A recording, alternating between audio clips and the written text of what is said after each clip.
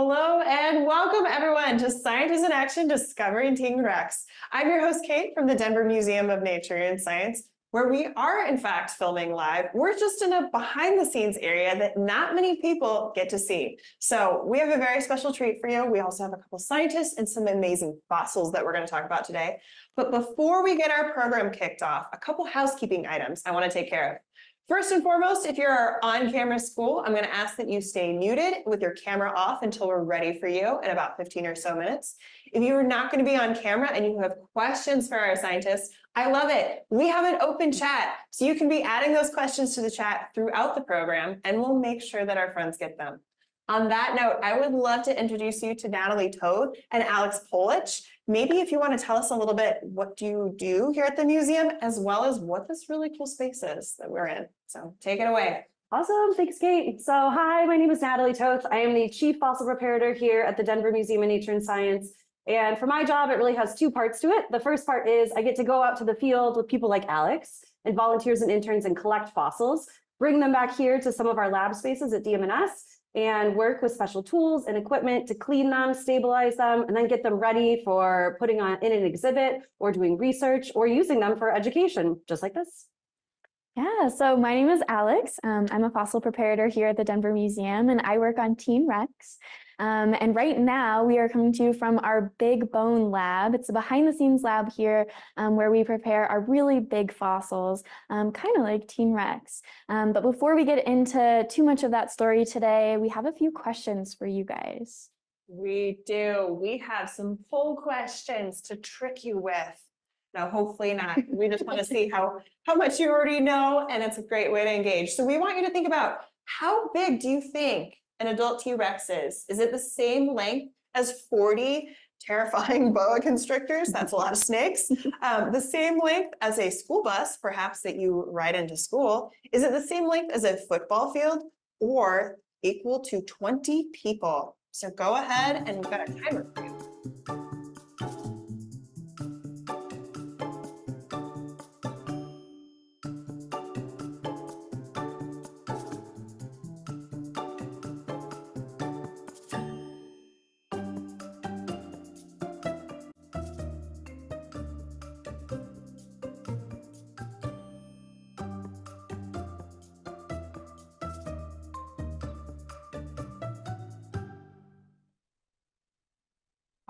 And let's see how our friends have done. And it looks like, ooh, by and large, folks have said the same length as a school bus, but we do have a couple of responses for twenty people. What's the right answer? How long is an adult T-Rex? Yeah, great job, everyone. So um, an adult T-Rex is the same length from the tip of its nose to the tip of its tail as a school bus, so about 40 feet long, which is pretty huge. That is terrifying. School buses seem much safer to me. Um, all right, we've got another poll question. So despite the name, T-Rex is not a lizard. Instead, their closest liv- living relatives are crocodiles, birds, Komodo dragons, lemurs, or sharks. Go ahead and take a guess.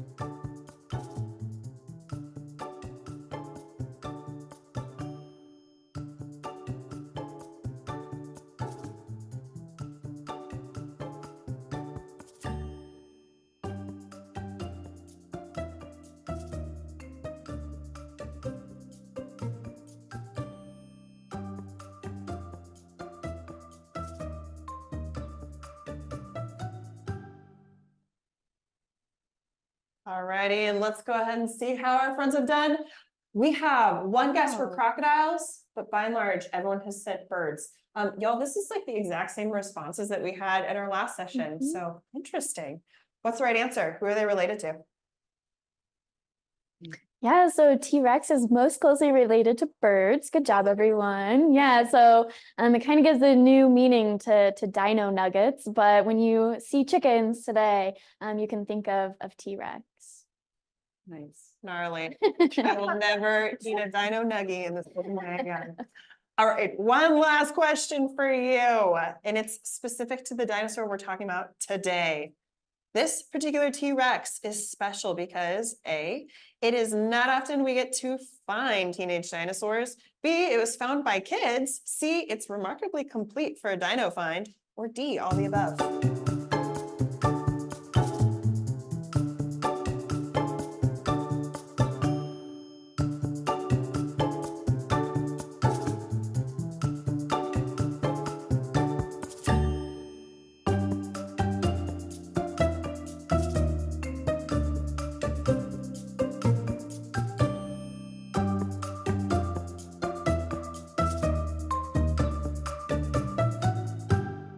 Now the music's gone, Natalie's gonna sing for you all. Just kidding. All righty, let's go ahead and in that poll and see how our friends did. Ooh, okay. We've got one answer for not often that we find teenage dinosaurs, ones that it's found by kids, but most of the people said all the above. So what is so special about Teen Rex? Tell us. Uh, so yeah, every, I mean, all of the answers are correct. And this is a really exciting fossil discovery for all of those reasons that were listed on the screen. It was just a discovery made by kids. It's a teenager dinosaur, which is pretty interesting. Um, and so we're excited to share with you guys a little bit more all about that.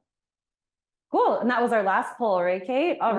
So I would love to share with you guys a little bit more about the history of discovery of this amazing fossil that we call Teen Rex. So back in 2022, uh, our curator of paleontology here, Dr. Tyler Lyson, got a text message from one of his high school friends with some pictures of chips of bone, fossil bone, coming out of a hill in the Badlands in North Dakota. So our team last summer went up to go look at these chips and chunks of bone. And sure enough, as we started uncovering all of the uh, pieces and parts, it turned out to be not just any old dinosaur, not just any old chips or chunks of bone, but it turned out to be a T Rex, which was so remarkable and such an exciting discovery. I think we actually have a photo even, or the photo that, that Dr. Lyson received, right? Is it like a Yeah. kid laying next to a It bone? is. Yeah, Yeah, if we could Perfect. pull that photo up, it's pretty neat. it should be Liam. Yeah, so there's one of the young boys that had uh, made the initial discovery a couple years ago, and he's laying next to the shin bone of this dinosaur, this teen Rex.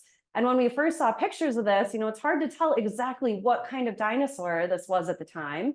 And so, you know, as we get out to the site and continue to dig and dig right by all of uh, these pieces of fossil bone, one of the things that clued us into it being a T Rex was the super sharp teeth that we started to uncover in the field.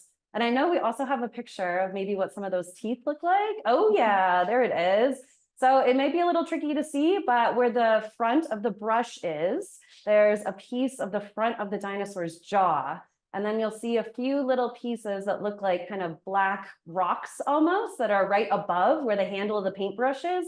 And those are all of the teeth poking out of the rock from this teenage T-Rex. So you can imagine how exciting our crew was, how excited the boys were, how excited everybody was that we had just uncovered this really spectacular meat-eating dinosaur. Very cool. Absolutely, yeah. Um, it was a, a really good time out in the field. It took us about 11 days to um, excavate this whole dinosaur, um, and we collected it in what we call a big field jacket. Um, and so, when you find a dinosaur, um, the first step is to kind of figure out where all of the bones are in the dirt. Um, and then we use tools like shovels and picks, and we trench around it um, so that it's all sitting up on a pedestal, kind of like you can see in the picture here. So that was our Teen Rex pedestal, all ready to be wrapped up and brought back here to Denver. And that's our intern, Aiden Skelly, there next to it. Um, and our next step is to, to cover it in plaster and burlap, um, which is kind of like if you have to get a cast on your arm, that's what that, that plaster is. So I think we have a, a picture of this all wrapped up. So there it is, ready to, to get flipped over. And Natalie can tell you more about how we flipped this and brought it back here to, to Denver.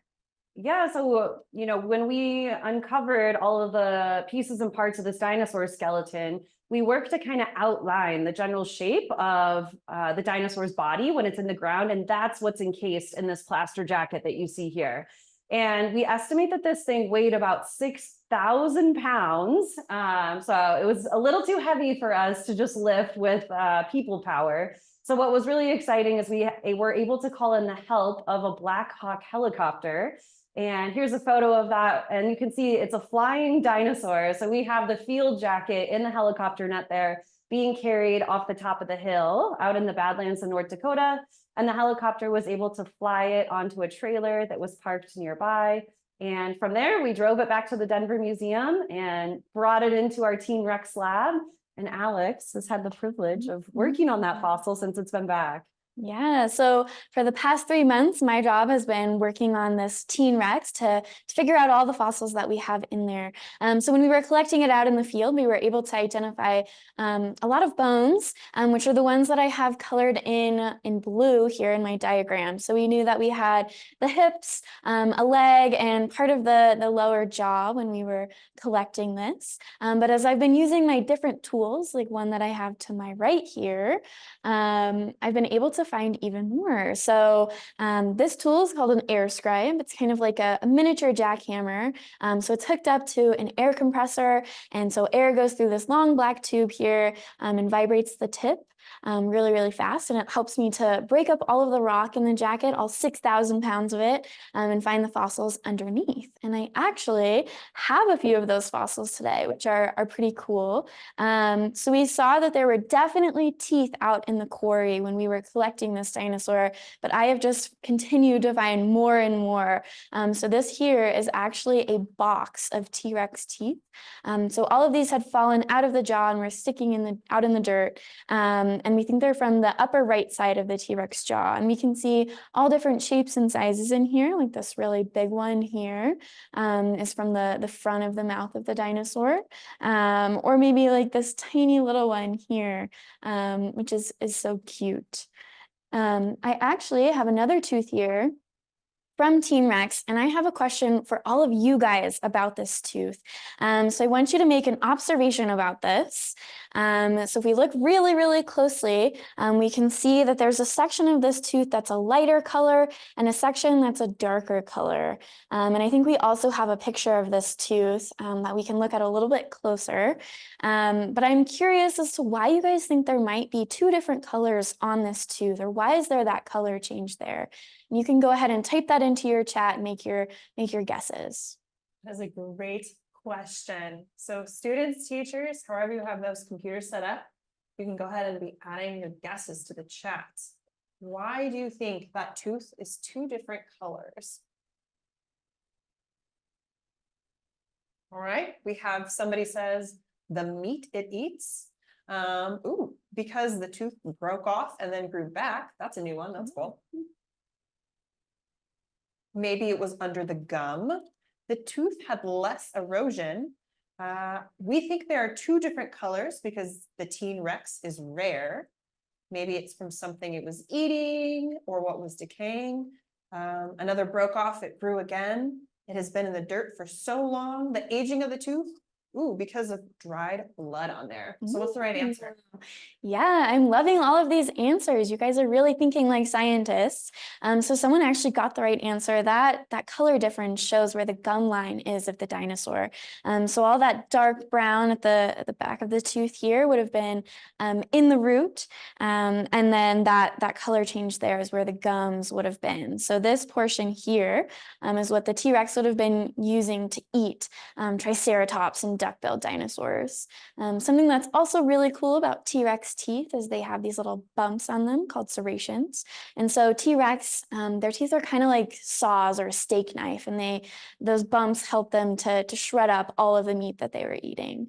Um, now, one of the answers you guys also mentioned uh, was about erosion or about maybe wear and tear on T-Rex teeth. Um, Natalie, do you want to talk about this, this tooth here? I would love to. This, um, what's really special, so Alex was showing us that we have a tooth here from a teenage dinosaur. And this tooth that's in my other hand is from what we think is an adult dinosaur. And it might be kind of tricky to see here on camera. And maybe even if I turn like this, you might be able to see the distance or the, the size difference between these two teeth. And so this one is really sharp, it's narrower, it's smoother, versus this tooth is a little more robust. And it actually has this really interesting kind of what we call a wear facet on the top of the tooth right here. And that tells us that this tooth was around in the T Rex's mouth for a long, long time before it fell out. This is the wear and tear that this dinosaur endured while it was eating things like Alex had mentioned, Triceratops, the duckbill dinosaur, Edmontosaurus. And so it's really cool, really fun to find things like this that show us uh, exactly what kind of lifestyle this dinosaur was living and what it was eating right before it died. Yeah, absolutely. Um, uh, so Natalie kind of touched on it, and we also talked about it in our poll earlier. So one of the reasons that Teen Rex is so special is because it's a juvenile or a teenager dinosaur. Um, so we think that this dinosaur might have been between 13 and 15 years old when it died. Um, and the way that, that we're currently inferring that age is based off the size of the shin bone or the tibia. Um, so we compare that size of the, the Teen Rex shin to adult T-Rexes, um, and we can kind of backtrack it on what's called a growth curve to estimate the age. Um, but eventually I'll be doing something um, that'll help us to, to prove it a little, little more science. Um, so we'll be doing histology, which is where we actually will cut a piece out of the, the shin bone, um, which I have um, a bone over here that we've actually cut a chunk out of. Um, you can kind of see the, the hole in this bone here.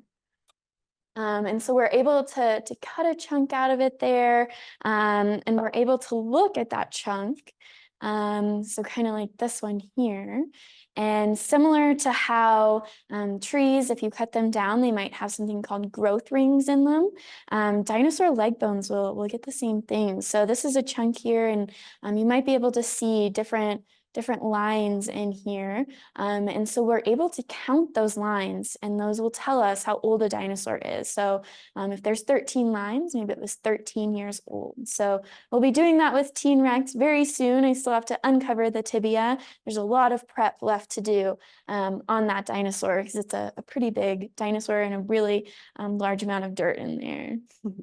Well, yeah, one of the things that is so special about teenage dinosaurs is that we find very, very few of them. So there have been dozens and dozens of T-Rex specimens that have been collected over the last, you know, several centuries. And, you know, a lot of these dinosaurs we think are probably pretty close to full grown size, full grown adults. And there's only maybe four or five kind of subadult or teenage teen rexes that have ever been uncovered. And so this specimen that Alex is working on here at the Denver Museum is really spectacular in that it's going to help to kind of fill in the timeline of what a dinosaur, how a dinosaur grows from being a little hatchling T-Rex all the way up through its big adult size when it's about, you know, 25 to 30 years old. Absolutely. Now we've talked a lot about T-Rex, um, but when prepping out this jacket, there's also been a lot of other cool fossils in there, um, like plant fossils. So I think we have a picture of it. Um, there's actually a palm frond or a palm tree leaf um, that's right next to the, the Teen Rex jaws. So it's really cool to have both plant and dinosaur fossils in here um, because it tells us a lot about what the environment looked like 67 million years ago when this dinosaur was alive. Um, so there's that palm frond and there's there's been more leaves in there as well. Um, and yeah, and here's an amazing picture of, of what the Hell Creek or what North Dakota looked like um, back when the dinosaurs were alive. So we can see um, T-Rex here and some um, ornithomimids in the back there, which have the feathers on them um, and a really cool ankylosaur at the front here. But it was a, a really nice tropical oasis, which is one of the reasons why we get a lot of fossils from that area. Cool. I guess one of the last things I'll mention is that, um, you know, T-Rex was walking around in this beautiful landscape that would have looked a lot like kind of the Mississippi Bayou back 67 million years ago. So think of kind of like the Gulf Coast where we have things like really lush palm trees and all different kinds of vegetation, much different than the dirt and sand badlands that we'd seen photos of earlier. Um, and we've, you know, the Hell Creek Formation is the name of this rock unit that's produced all of these incredible fossils like T-Rex and also some of the other kind of friends or creatures that lived alongside it. So yeah, here's a great photo of what North Dakota looks like today, right? You look around the landscape, I don't see any palm trees. I don't see any, you know, turtles walking around in this landscape. Um, so things look, have changed very, very much in the last 67 million years. Uh, but on this landscape, you know, if we go back in time to when T-Rex was walking around, we have other animals that we find in these badlands alongside dinosaurs like T-Rex. So if we can take a peek on the table here, Uh, right up in the front, we have this really beautiful series of what we call caudal vertebrae. So these are all from the tail of a duckbill dinosaur called Edmontosaurus. This fossil is so special because we found all of these fossils kind of intact or preserved all together in the order and orientation in which they would have been in the dinosaur's tail when it was alive. So we get really excited when we find things like this that are still in their life position. Um, and one other thing I'd love to point out that's on the table, we talk a lot about dinosaur fossils, but it wasn't just dinosaurs on the landscape. There were other critters out there too. So I, I'm going to pick up this specimen here, and I'm actually going to ask you all, and maybe Kate can help me out here. Mhm. I'm holding a specimen that kind of looks like a big, I don't know, brown shiny dinner plate. And I'm wondering if you guys have any guesses as to what this could be from. Yes, who did this belong to? In the chat, go ahead and make a guess. We got turtle shell, turtle, another turtle shell. Is it a turtle shell? Turtle shell. Yes, lots of turtles. Okay, I'm gonna be so devastated if it's not turtle. Is it a turtle? No, you guys are way too smart. So of course, this is a fossil turtle shell. Um, but it's fun to think about all of these different critters that would have been walking around kind of at the feet of dinosaurs as they were walking around on the landscape 67 million years ago. So great job. This is a fossil turtle. I love that. That is so cool. Okay, we're gonna invite our on-camera school to go ahead and join us at this point because we can't wait to hear your questions next. So if we could go ahead and have our friends from, let's see, Garden County Schools, if you want to go ahead and unmute and turn your camera on, we'll be able to hear and see you in the lab and then hear your questions.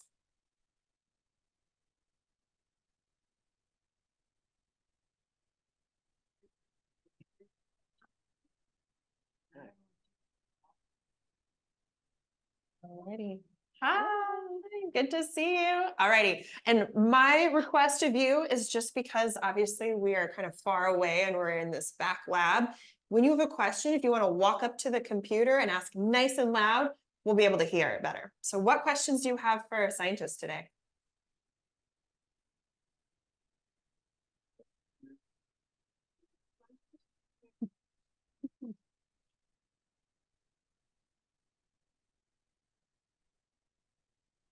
Why do the dinosaur teeth go down in the soil? Ooh, Why did the dinosaur teeth go down in the soil? Yeah, so I think you're probably talking about that picture we saw earlier with all the teeth in a row. Um, and so when we find fossils, a lot of the time, um, most of the dinosaur will be completely covered in dirt. And that's how um, we're able to, to find these fossils and how they stay safe for those millions and millions of years before we find them. So this is actually um, after we've kind of explored around that leg bone we found at first and, and dug pretty deep into the ground, actually. I think we had to dig about six feet to find these teeth. Um, and so when, when dinosaurs become fossils, they get covered in lots of um, sand or mud, um, and they stay in the rock layers for, for a really long time. And the, the bones get replaced by the minerals in the, in the dirt. So that's where, that's where we find those bones is in the, the dirt or the soil. Oh, very cool. I also didn't realize you had to dig six feet for it. That's impressive. Those bones do get kind of spread out, so Mm. that would be a great way why those teeth would be down in the dirt, so. What's another question from the classroom? How many dinosaurs eat meat? Ooh, How many dinosaurs eat meat? Oh my We goodness. don't have a specific number. Yeah, and I don't have a specific number at the tip of my brain right now. Um, but what's really cool about meat eating dinosaurs is that they've been around for a really, really long time. So we're talking about our T Rex fossil here, which is 67 million years ol- old. And meat eating dinosaurs have been around since about 210 million years ago. So that's a long, long history of meat eating dinosaurs. So we've had them come in all different shapes and sizes. So, you know, back 210 million years ago, they're kind of just little meat eating dinosaurs about the size of a small house cat or a small dog. And then they've evolved over, you know, over 100 million years to become the apex predator that is T Rex that everyone knows and loves today. So that's a great question.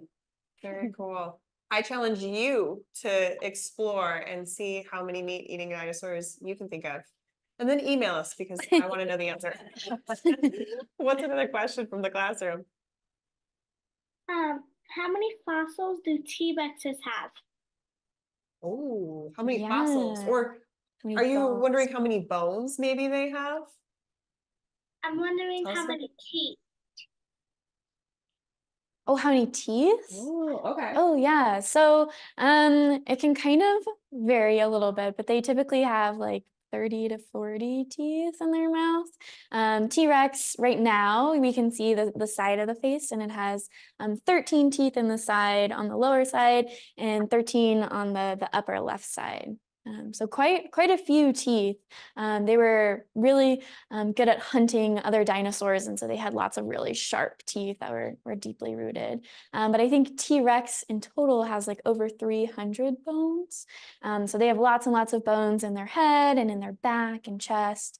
Um, so it's a it's a lot of bones to to find. And here's a, a picture of of me about to be eaten by uh, teen Rex. So you can see the the lower jaw and the upper jaw and part of the skull there as well, um, which were surprises for us when we were prepping this out, which um, we're very happy surprises. very One- excited to find those. One thing I want to highlight in that photo too is it looked like some of the teeth were maybe smaller than others. Mhm. Do T Rexes lose their teeth like humans do? They do, but what's really cool is that, you know, we lose our teeth once and get one new set of teeth, and T-Rex can do uh, have multiple sets of teeth throughout its entire lifetime. And one other cool thing that I'd love to add to what Alex was talking about is that the number of teeth that tyrannosaurs have in their jaws it actually helps us figure out where they go on the dinosaur family tree. So T-Rex has a very set number. Well, uh, we think it has a very set number of teeth compared to other tyrannosaurs that may have been around during a similar time period. So the num- that's a really good question that was asked. I feel like the number of teeth is something that's actually really, really important for researchers working on these fossils today. Totally. Very cool. Dino dentists, keeping them in business. All right, what's another question from the classroom? How many fossils are there in the world? Oh, How many my fossils are in the world? goodness. Again, a number question. Natalie for Wow, sure has the answer. for yeah. I'm ready. so uh, that's such a tricky question to answer because, you know, we're showing you fossils mostly of dinosaurs and things that were alive alongside T-Rex. But a fossil is any living animal that was once alive on the earth that has now become, you know, fossilized or turned to rock over millions or hundreds of millions or sometimes even billions of years. So if we think about, you know, the age of the earth is 4.6 billion years old. The first living organisms on earth show up about 3 billion years ago. So from 3 billion years ago to now to know how many things have become fossilized or how many things were alive, I'd say it's almost impossible to make a good guess, but Yeah. another good thing to ask Google, I suppose. I. Well, and to challenge your thinking too, uh, you know, sometimes fossils are surprising and that a lot of the fossils we find are, are like trace fossils. So it's not the actual bone that people are finding, it's like a footprint, right? Right. And if you think about it, dinosaurs only had one body, but they probably made millions of footprints over their lives. Mhm. So you might be more likely to find like a footprint or like a, a burrow where they maybe something lived than the actual dinosaur itself. or seashells or i mean every you think about it on all different levels right we have big giant dinosaurs we have little turtles we have little seashells little snails plants and leaves and grasses and all different kinds of critters so Yeah. great question but If we have time too. We have a Kate was talking about trace fossils, like footprints, um, and we have another example of, of a trace fossil here on our table. Um, uh, so you might be able to see this kind of weird texture on here. Um, and I'm curious as to what kind of fossil do you guys think this is? Ooh, this sounds like another opportunity to type in the chat. What do you think we're looking at here? Yes. What is this pattern here? What left this pattern? Okay, we've got a fish, we have footprint, we have scales. Someone definitively says those are scales. Beehive. Ooh, I like that answer too. Mm-hmm. Plant. More beehives. Ooh, armadillo. Oh, Armadillos are oh. awesome, by the way. Fossilized beehive, snake scales, dino foot. Lots of beehives. Okay, what's the answer? Yeah, these are all great great guesses. I heard scales. Um, so you're right. This is um, the skin or skin impression of a dinosaur um, from a duck-billed dinosaur, actually, like a Edmontosaurus, that lived at the the same time as T-Rex. So these show all of the little scales that the the dinosaur had. So it's really cool to see um, how different dinosaurs will have like different um, textures and patterns on their skin, and, and look at what their skin might have looked like. Cool. We got to see so much cool stuff from that. All right, let's get more questions from the classroom. How many bones are in a T-Rex? Ooh, how many bones are in a T-Rex? I think you mentioned this one earlier, but there was an actual number for it. What is it? Yeah, it's a, about 300. So um, we can kind of look at the diagram here to my left. There's lots and lots of bones on here. Um, you can see like all of these different spine bones in here and neck bones. Um, and they also had um, lots of different bones in their head and in their leg. Um, and something also really cool I want to point out, I actually found a couple little rib bones um, a couple weeks ago when I was digging in here. So um, T-Rex, like us, they had ribs in their chest connected to their back, um, but they also had ribs in their belly um, to support their big bodies and also in their neck. Um, and so I'm trying to figure out right now where um, the ribs that I found in that that pile of dirt might go in the T-Rex body. That's a good question. Okay, I have a bone question. Mhm. This is not a student question, but it's interesting. Let's zoom in on its little face really quick. What is this little round bone that looks almost like an eye on the Oh, dinosaur? um, I think Do you're we probably have those? talking Tell us about about it. that. Yeah, so that's actually um, just from the the artist indicating where where the eyeball would be. It's not Wow. actually, um, yeah, but that is where where the eyeball would be. But you might notice there's lots of of holes in the in the T-Rex head here that eyeballs don't go in. So um, it's cool to see the the different shapes, and sometimes that can tell us um, what type of dinosaur it is, um, or sometimes what it's closely related to, which is is pretty cool. Cool. Well, bummer that that wasn't a real bone. I'm No real eyeballs, unfortunately. Yeah. Some animals do have almost like a little ocular bone. Yeah. Not us, and apparently not T-Rex, but sad. All right, let's get at least one or two more questions from the classroom.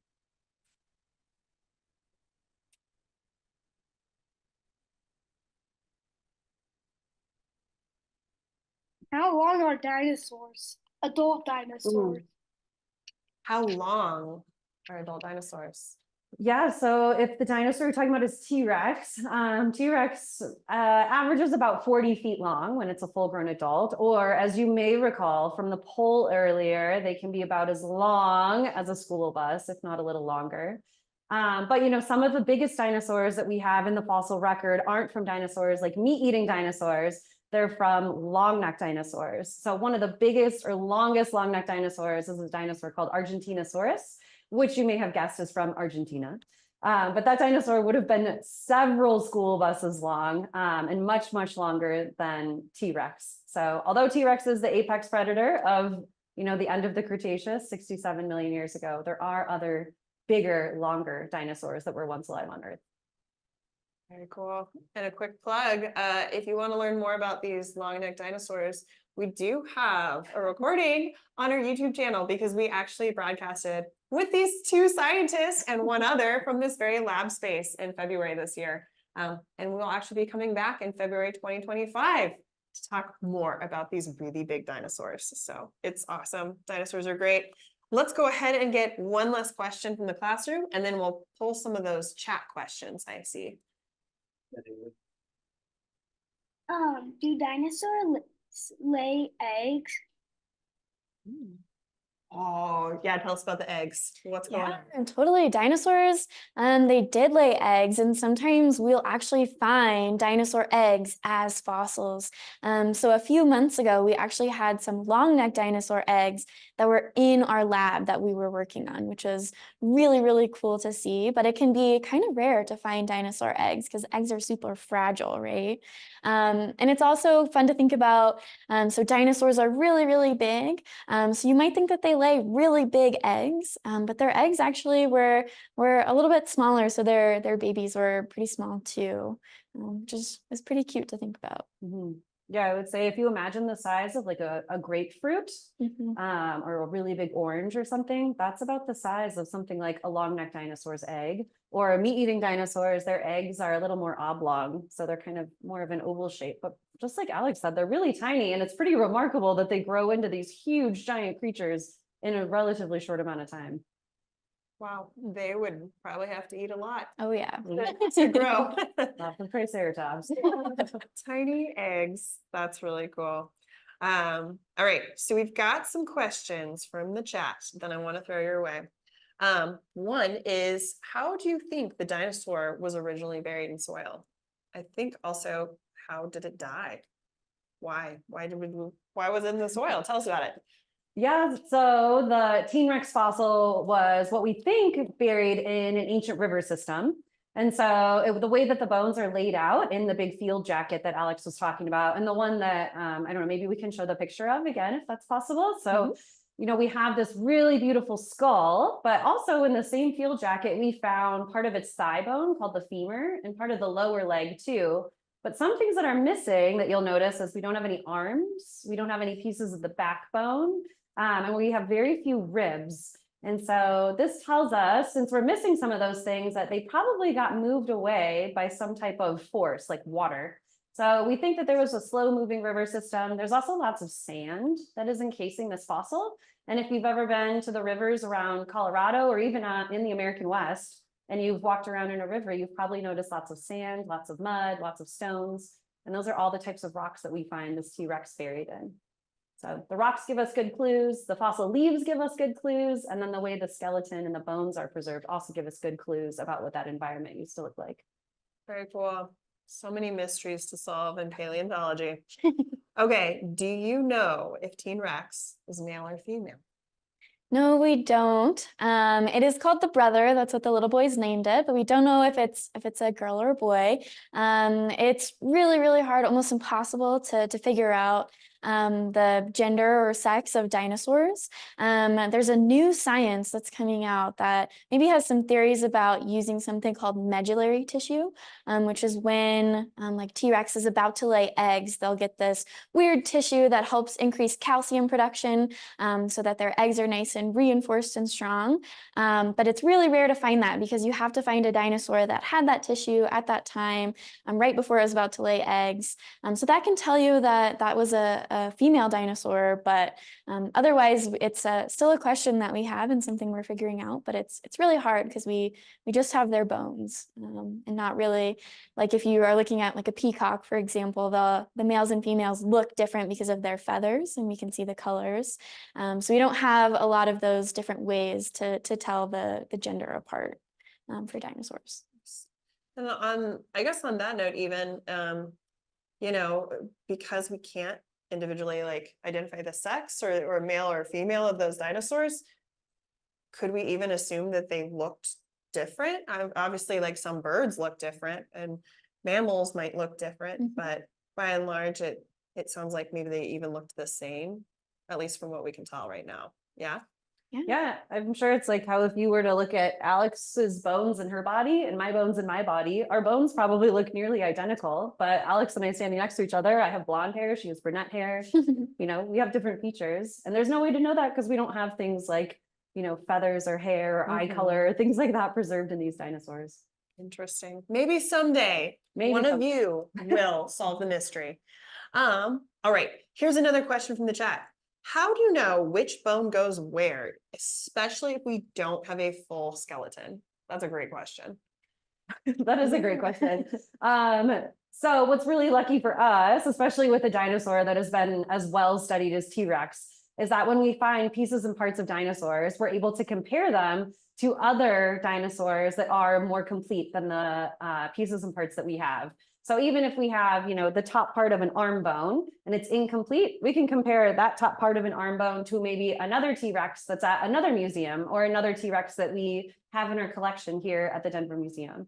So it's just by doing a lot of comparison for uh, and kind of playing a matching game almost with other dinosaur skeletons that have more of their body parts preserved. Very cool. All right, here's a question about lifespan. Um, and I think you kind of, you touched on this, but you didn't explicitly say that's what you were mentioning earlier. but how long could T-Rex hypothetically survive or live? Yeah, so we think that um, T Rex typically the oldest that it got was like its early 30s. Um, and one of the ways we know that is like I was showing you guys earlier, those those chunks of bone that we can cut out and count the the different growth marks or growth lines in there. Um, so having a 13 to 15 year old, um, it's not full size, still just a, a teenager. Getting its driver's permit, I see. Mhm. Interesting.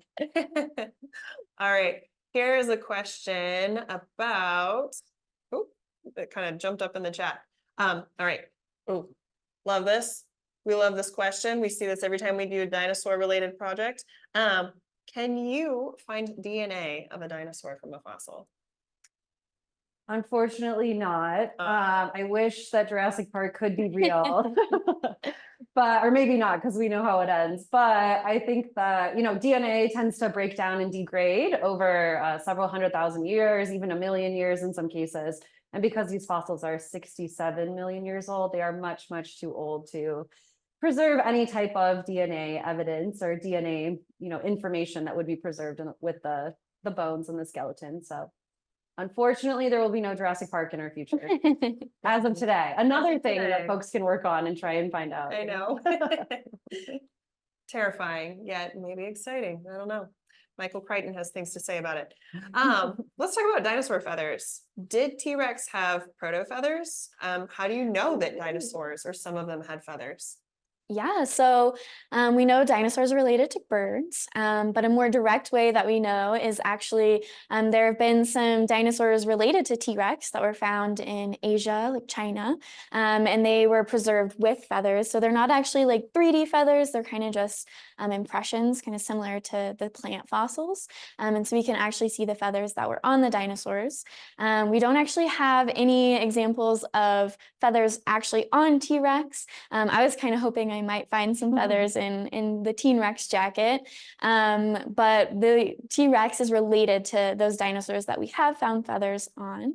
Um, but with T Rex, it's kind of a, a debate between paleontologists on whether it had feathers or not, um, because T Rex is really really big and lived in a super hot environment, which makes um, feathers kind of difficult to have for thermoregulation. It could be way too hot for the the dinosaur to be covered in all of these feathers. Um, so we think that maybe when T Rex was little, um, like firstborn, like the size of a house cat, that it might have been covered in feathers, um, or that even Teen Rex might have had feathers, um, but that maybe they were more specialized, kind of like how um, elephants will have hair all over their body, but you can't actually see it because it's kind of wiry and thin. Um, maybe T Rex feathers were were the same and um, kind of had that specialized structure, so they weren't too hot.